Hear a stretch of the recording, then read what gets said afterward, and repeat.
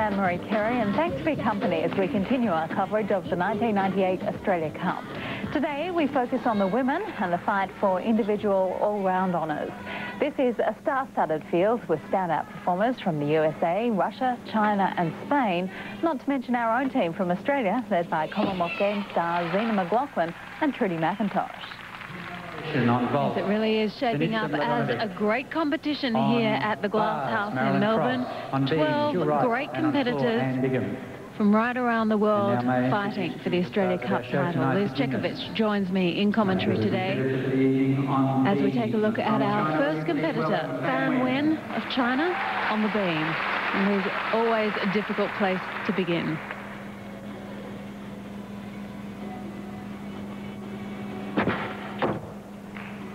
Solid start with the front salto mount.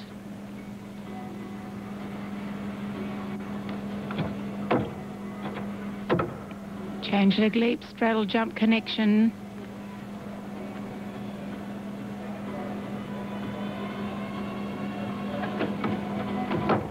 Very difficult flip. Second element called an Onodi. It's a half turn, front walkover out.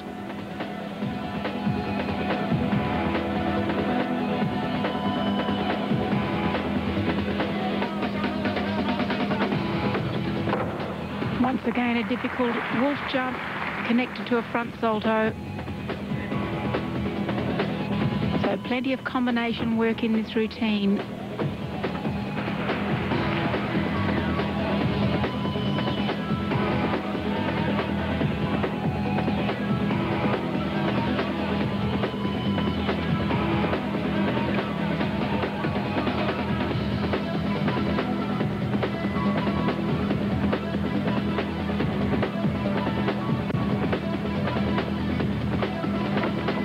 Off, flick, double twist. Well, that was a very confident start from the young Chinese. As we said, the beam, always a tricky place to begin a competition, particularly if there are a few nerves, but no hint of anything there. She was rock solid. Yes, here's this flick, half turn, front walkover, very, very little margin for error on that element. Picks up quite a few bonus points in the connection and a combination dismount. This is hard to do. Round off flick, double twist, and the only element that you can see a little bit of a deduction on in this routine, travel back slightly on the dismount. Well, a good score to kick off her competition. Fan Wen with a 9.4. And this, our first look at Trudy McIntosh of Australia. The crowd certainly behind her, and this is one of the apparatus where she shines. Opening with the handspring front layout. It's absolutely amazing that she can over-rotate that vault. Most gymnasts have trouble getting it around at all, but she's just got so much power. Kicks her heels over, good height, perfectly straight legs. What a shame about the steps at the end. The girls need two different vaults and the scores will be averaged to come up with their final score. This time half turn out. That's better.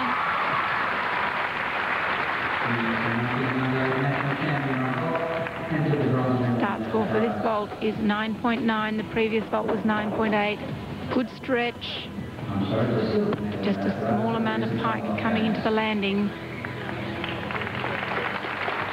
She's only 12 centimetres taller than the vault itself. Yeah, she's tiny, but she's power-packed. And Trudy McIntosh, a 9.4. From Russia, The first competitor from Russia now, Nina Kartseva, 16 years of age, from Moscow. She's looked very good in training on this apparatus, quite crisp worker. One and a half pirouette. Oh, that's unusual. She's missed that, been a little bit off direction, so fallen back onto the bar. Pike Jaeger hit her feet, lucky to be on the bar. So a bit unusual to see this from this gymnast. As I said, she looked very good in the training in the lead up to the event. Giant fall, giant half to eagle grip, half pirouette out. Double layer. Lifted her head up on the landing, hasn't made that around, so that's a shame for her. Kartseva in all sorts of trouble early in this competition. Training is one thing, but the pressure of competition is another altogether. And here she picks up after she's missed that first swing, clips the heels on the bar.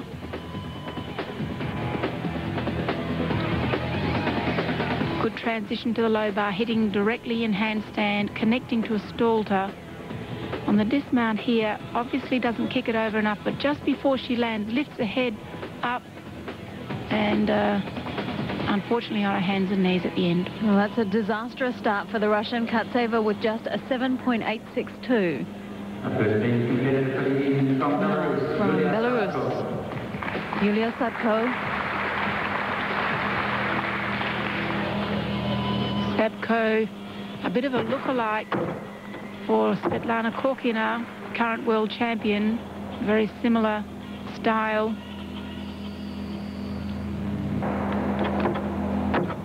Change leg leap, jump full turn.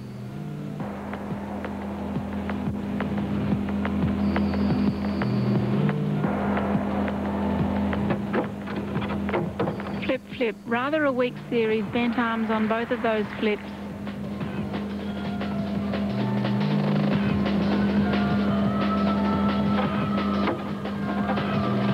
Jump three quarters, the legs need to come up higher.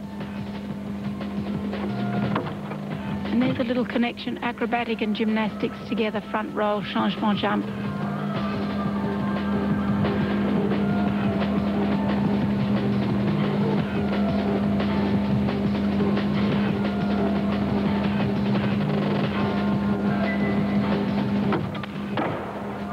Another front salto connected to a jump. What the judges are looking for on those jump connections is the body has to keep moving no pause between the two elements and then they will award bonus points accordingly.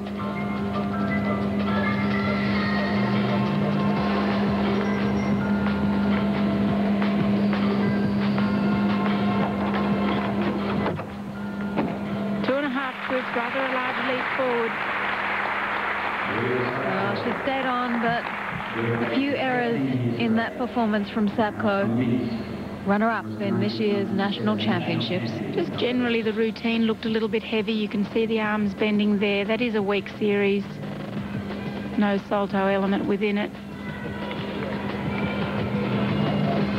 Two and a half twist. Taken large steps, so she may not be given the bonus points for that element. And Sabko picks up a 9.275. Next Australian on the vault is Melinda Cleland, the baby of this field. She's just turned 14. Beautiful vaulter. Opens with a handspring front in pike position.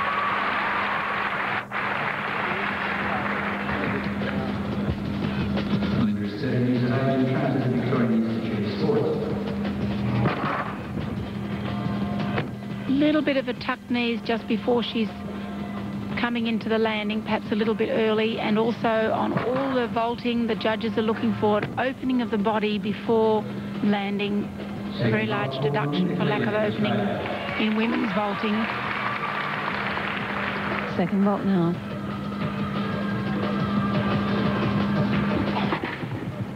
And same vault with a half turn, beautifully timed.